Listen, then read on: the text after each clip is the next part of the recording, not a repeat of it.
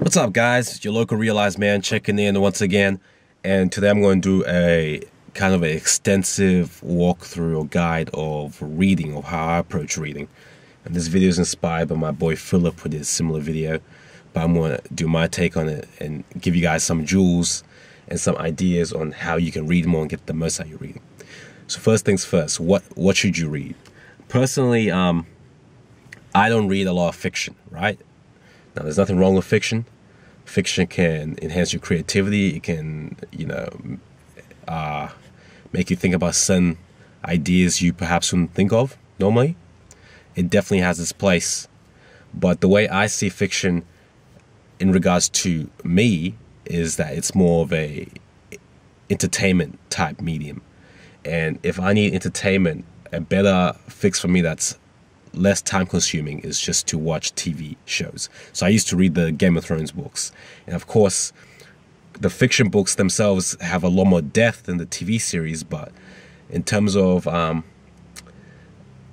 time investment and benefit, I'd rather just watch a TV show, watch a movie. So I read to get tools. I read to get utilities that are gonna help me in my life, right? I read because I want to get from point A to B, and there's certain knowledge I don't know, and reading is a way to get that. That's all. That's the only reason I read. So that's why I focus primarily on nonfiction. And when I started out reading, when I started getting into the habit of it, I used to read a book a week or sometimes two books every week just to kind of get into the flow of it. And that took about three weeks to get into, but once you're in the flow, it's a lot easier than what you think, what you expect. Because I used to be the type of person I used to read maybe one book every year that was prescribed to us at university or in high school. But so you have to put that initial energy to overcome the inertia at the beginning, but once you get the ball going, you're gonna get that knowledge. These days I don't read as much, but I still get it in. Given um, using some of these tools I'm gonna give you guys. Okay, so what type of books I read or what type of uh, medium? Well, there's basically real books like this, hard books. There's audiobooks and there's EPUBs. So I'm gonna get into the positives and benefits of each one. Real books like this, the reason I have these, to be honest with you, is because they just look nice. There's something about having a physical book in your hand that makes the experience just a whole lot better, especially when you have a coffee there and you're just sitting down, you can see the book and and plus they look cool as fuck. Like who doesn't want their own library, right? The physical books are great. I love physical books because yeah. Sometimes I actually just buy um, a book I've already read on EPUB. I buy the physical version just because I like to look at the book sometimes. I know it's ridiculous, but it's something I do. So physical books, they have their benefits. Uh, the disadvantage is you can't read at nighttime with these unless you have a lamp or some sort of one of those book light reader things. So, but the good thing is you can give it to a friend. You can give it to a friend, and it's good. It's a good gift. Something that's you know tangible. You can touch. Okay, EPUB. Uh, these are great. See, I use iBooks on my iPad and Kindle as well. There you go. So the good, the benefit of this is you can get a shit ton of books just on one device. Like I got a few, like a hundred books I've gone through just on EPUB, and you can adjust the brightness. You can read at nighttime, change the layout. You can bookmark things. It's excellent. But once again, you don't get the same feel as actually having the physical book, or at least I don't. And the third type of book that I like is audiobooks. Now these are great because they allow you to do to get your reading in while you're doing other things. The problem with audiobooks is sometimes um, certain books require you to look at diagrams, and audiobooks obviously don't have diagrams because you're listening. So there's benefits to all of them. The best approach is to use every single method if you really want to get the most out of your reading. Now, initially when I started reading, I used to read all sorts of things, biographies, philosophy, and stuff like that. But what I advise is as you get more used to your reading, you should learn to uh, focus down on certain areas and immerse yourself in them, especially when you're trying to get better at something. So perhaps if you're trying to learn body language, you should um, buy five different books on body language and just read those. If you're trying to learn online marketing, you should buy some books on SEO or some books on um, copywriting and stuff like that and just read those. If you try to learn about strength training, you should buy the top five strength training books and just read those. What that does is it immerses you with the knowledge and you get different perspectives from different authors and you can really start putting the pieces together.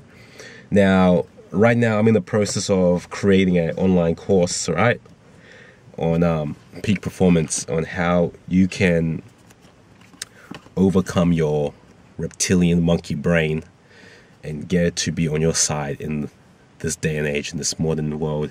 So, I've been getting a bunch of books in regards to thinking, in regards to the brain, how the brain works, NLP, Power of the Subconscious Mind, The Art of Thinking Clearly, a book on cognitive biases, The Organized Mind, some stuff done by neuroscientists, cognitive behavior therapy. You see, you have to really immerse yourself, and that's how you get the best perspective. So that's what I'm doing right now. I'm no longer just reading philosophy for the sake of reading philosophy. I'm not reading biographies for the sake of reading biographies. I'm reading things that are going to help me get the specified knowledge I need at certain times. And certain knowledge you can't get from books that you buy the stores. Like, uh, if you go to a bookshop, for, for example, it's going to be really hard for you to find a book on, you know, C++ coding or copywriting, or it, they tend to be more generic uh, type of books. So if you want to get specific knowledge, I recommend you look up on the iBook store on Apple, or you look up on the Kindle store. On the Kindle store, there's a whole bunch of books that are like a dollar each that people have written that really niche down on certain ideas, and they're very beneficial. You can just collect about 10 of those at one time, just go through it, and you'd be amazed at how much value you can get from one of those books. It's like a dollar. It's crazy. Um, and the last thing I want to talk about is audiobooks, right? Audiobooks, I love audiobooks. Uh, audiobooks are great because they allow you to read while you're on the bus going to work or driving going to work. They allow you to absorb information while you're cleaning dishes, maybe when you're even on the toilet taking a shit. There's a lot of time that's wasted throughout the day that you can really uh, utilize to uh, get the most out of your learning and audiobooks are really great. What I use for audiobooks is um, Audible. I'll probably put a link in the description so you guys can check that out. It's going to be like a free trial for one month, and then there's a recurring monthly payment. And what happens is you can um, swap books and stuff like that, and all that good shit. But I personally don't use the recurring payment. I just buy books straight up because I don't like recurring payments. The link is going to be affiliate link, by the way. I don't give a fuck. I tell my subscribers when things are affiliated, but I actually use this service. As you can see, that's Audible right there.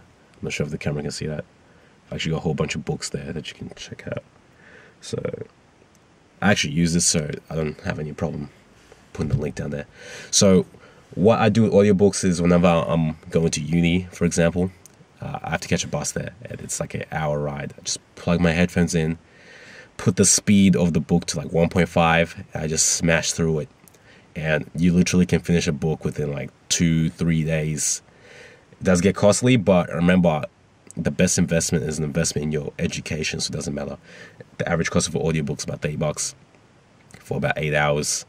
And yeah, you can really get that acquired knowledge. Anyway, guys, I hope that helped you in your reading. Go out there and read that shit, baby. Until next time, peace, like, comment, subscribe, and all that good stuff.